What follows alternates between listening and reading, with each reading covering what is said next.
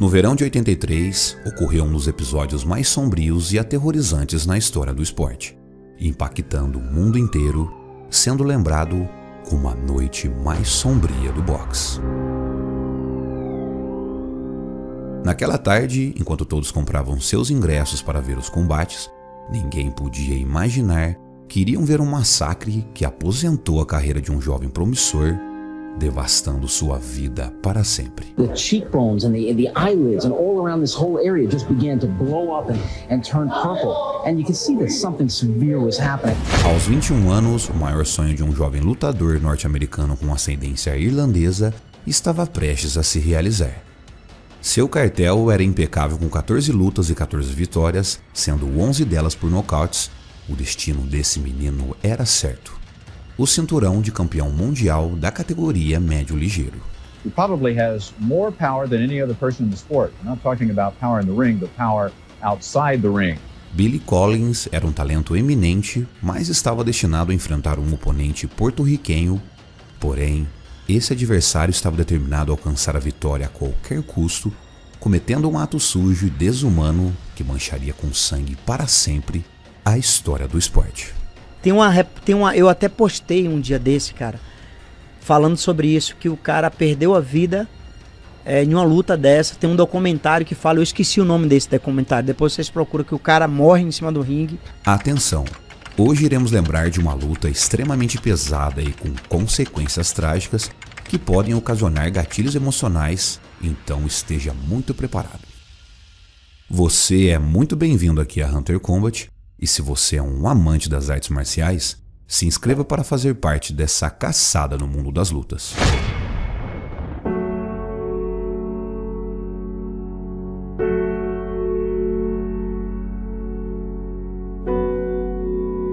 William Ray Collins Jr., nascido em 21 de setembro de 1961, em Nashville, nos Estados Unidos, ele provinha de uma família simples e trabalhadora do Tennessee. Seu pai, Sr. Billy Collins, era um ex-boxeador profissional que deixou sua carreira para virar caminhoneiro.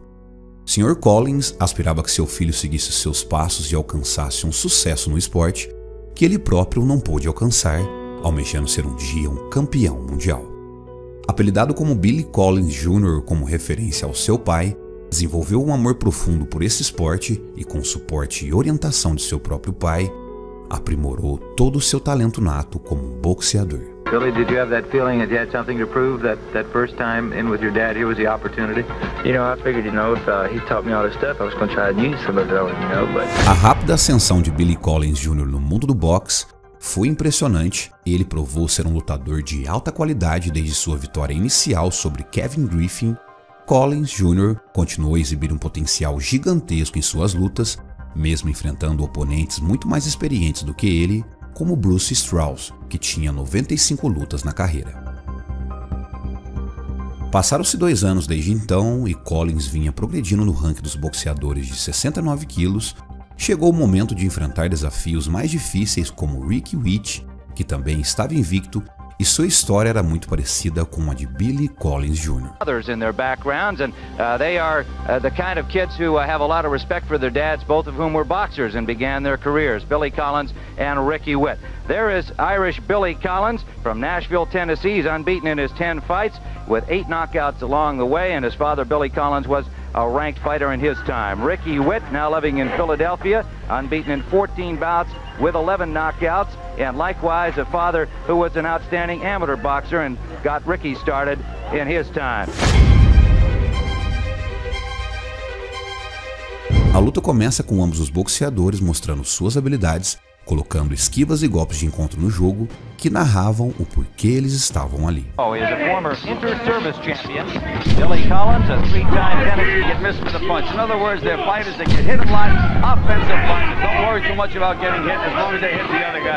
Billy Collins, destro e com uma envergadura muito maior, trabalhava muito bem tanto na longa quanto na curta distância. Ricky, por outro lado, canhoto e com golpes certeiros, Buscava tiros no corpo, pois ao tentar os golpes no rosto, sempre se encontrava com socos de encontro de Billy Collins. No início do segundo round, Billy lançou uma combinação certeira que fez Rick balançar abrindo uma oportunidade para consolidar sua vantagem no ringue, com seu controle refinado e precisão, Billy buscava aproveitar esse momento que poderia ser o último momento dessa luta.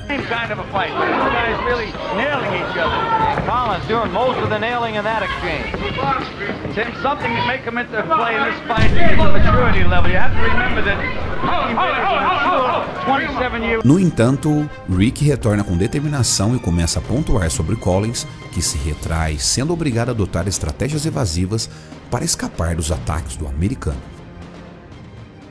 Enquanto tentava se proteger dos golpes de Ricky, Collins mantinha a calma, buscando uma abertura para contra-atacar e recuperar o controle da luta.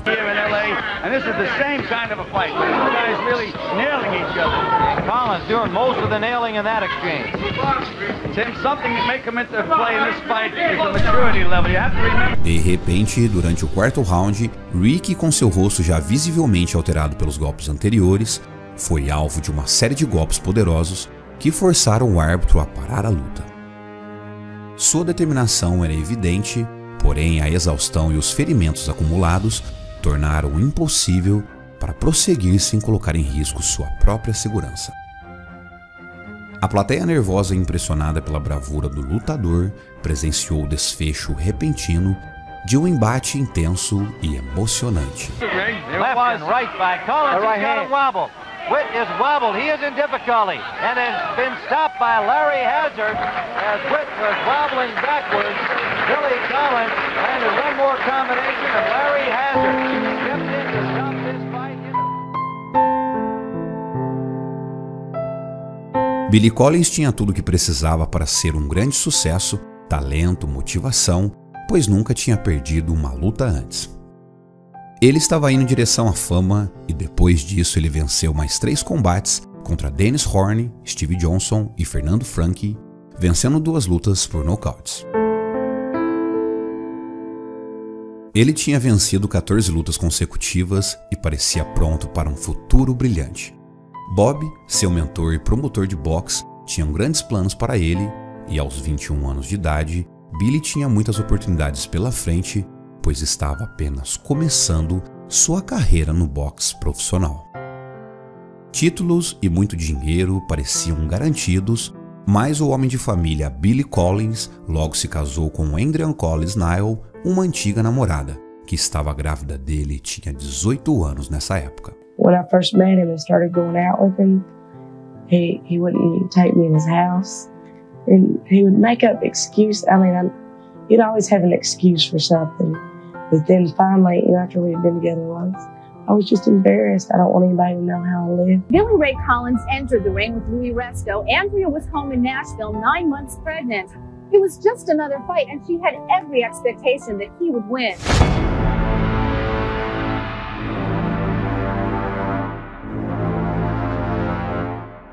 Tendo o lendário Madison Square Garden como testemunha, Dave Moore e Roberto Duran, o lendário campeão panamenho se enfrentaram pelo título mundial na quinta-feira, 16 de junho de 1983.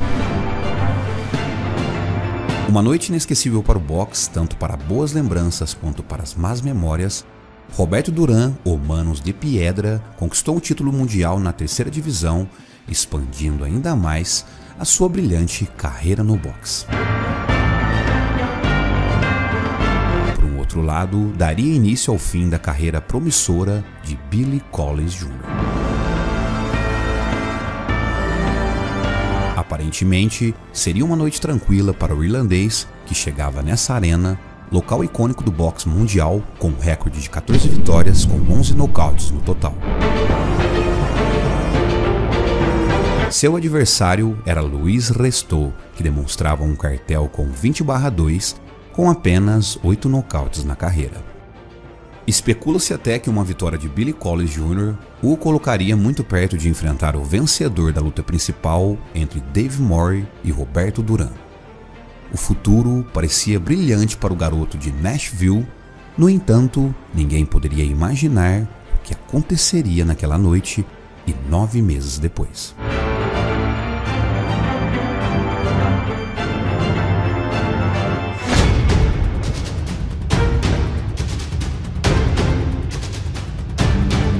A disputa entre Collins Jr. e Louis Resto não transcendeu conforme o previsto. À medida que os rounds se passavam, o desempenho de Luiz mudou drasticamente, adquirindo de repente uma potência de socos avassaladoras.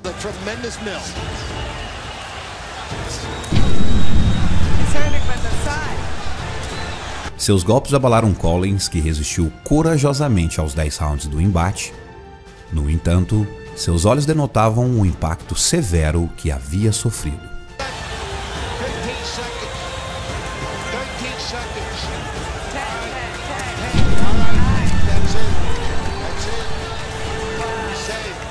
Claramente, Billy Collins Jr. saiu derrotado naquela luta. Louis celebrou como nunca o ápice de sua carreira e, um gesto aparente de cortesia, estendeu a mão ao seu oponente para cumprimentá-lo. Nesse momento, o pai de Billy Collins, utilizando sua experiência como profissional do esporte, notou algo suspeito nas luvas do responsável pelo dano ao seu filho e prontamente revelou sua descoberta.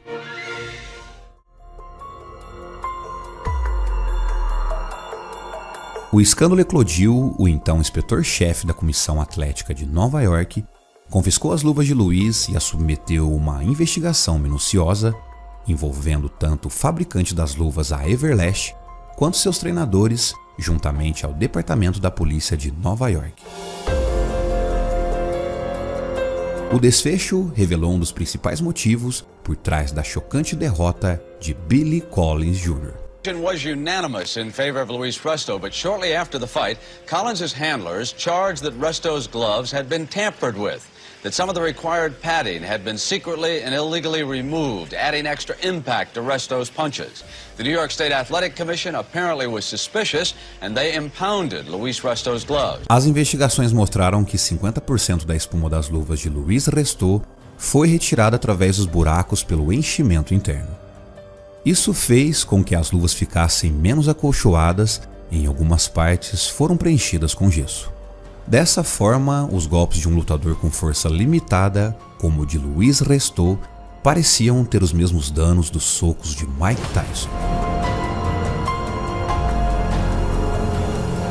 A consequência foi a suspensão de um ano e, naquela época, Luiz Restou teve a cassação definitiva da licença de seu treinador Carlos Luiz e de outro integrante de seu corner. Foi o próprio treinador de Luiz que, de forma astuta, impediu inicialmente que as luvas e bandagens fossem verificadas, regras de todas as lutas de boxe profissional, alegando que precisava de mais tempo para preparar seu lutador, quando o inspetor de plantão visitou seu camarim para realizar a conta. Porém, para Billy Collins, as coisas foram muito piores.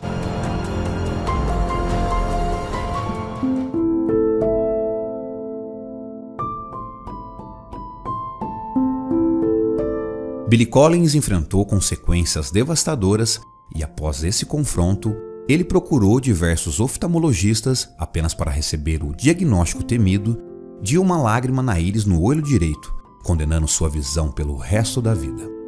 Sua trajetória no boxe foi desfeita e sua própria existência comprometida. A vida de Collins entrou em completo colapso ele não conseguiu encontrar um lugar no mundo profissional além do esporte e acabou enfrentando problemas em seu relacionamento com a esposa e sua família. Things started getting worse and worse between us. Started hitting me a lot and he would cry for days. He did drugs, he drank. Pela primeira vez, Collins começou a beber bebidas alcoólicas. Ele teve que aceitar um novo trabalho fora de sua área no boxe, como na área de pintura. No entanto, essa ocupação durou menos de dois meses, pois seus empregadores não se sentiam confortáveis em colocar um trabalhador com deficiência visual em uma estrutura de andaime. Não contente com isso, Collins bateu em sua esposa Andrea, de 18 anos, resultando na partida dela com a filha pequena Alicia, de volta para a casa dos pais. Billy Collins já não era o mesmo homem tornando até mesmo sorrisos mais genuínos um desafio para ele, entrando em um estado melancólico e profundo, sendo diagnosticado com depressão profunda. Os remédios e o álcool eram sua companhia daqui para frente. Os sons e os gritos da plateia dentro do ringue foram substituídos por barulhos de garrafas vazias em becos escuros, dos quais poucos conseguem suportar. A melancolia é como uma sombra constante que envolve a alma quando desafios emocionais e psicológicos penetram no coração como se fosse uma lacuna vaga, ou até mesmo uma saudade indefinida que não pode ser preenchida. Ela abraça a mente do indivíduo em um ciclo de reflexões sombrias, minando a esperança e obscurecendo as perspectivas para o futuro. Em 7 de março de 1984, nove meses de ser destruído por Luiz Restou dentro do ringue, Billy Collins Jr. bateu o carro bêbado enquanto dirigia em alta velocidade e perdeu tragicamente a vida. Billy stood up to his father Drunk and angry, Billy drove away into a ditch, known in the area for the past 100 years as Collins Creek. Na noite do acidente, ele brigou com seu pai e estava muito bêbado. O relatório do legista diz que em seu sangue continha 0,19% de álcool. Qualquer coisa acima do 0,5 é considerado perigoso para dirigir. Pessoas próximas a Billy acreditam na hipótese dele ter feito isso de propósito, uma vez que ele ficou bastante depressivo por ter ficado com sérios problemas na vista após a luta.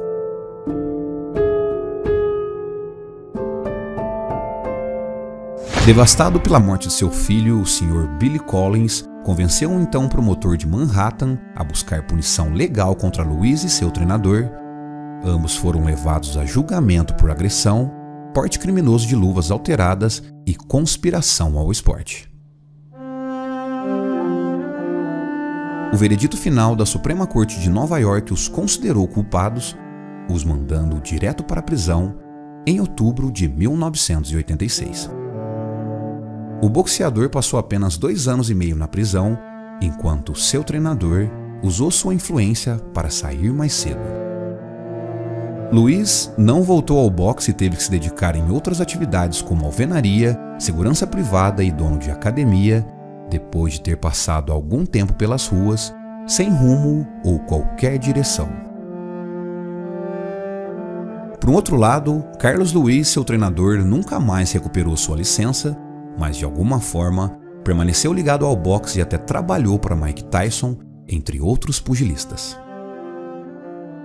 Apesar de ter sido vítima do lado obscuro do boxe, Billy Collins Jr. lutou não apenas contra seus oponentes dentro do ringue, mas também contra as sombras de suas próprias batalhas internas. Embora seu nome tenha desaparecido dos holofotes, as memórias de sua busca por redenção permanecerá para sempre em nossos corações. O legado de Billy Collins ecoa como lembrete poderoso da complexidade da condição humana. Sua vida oferece um retrato que transcende o esporte mergulhando nas muitas camadas do espírito humano.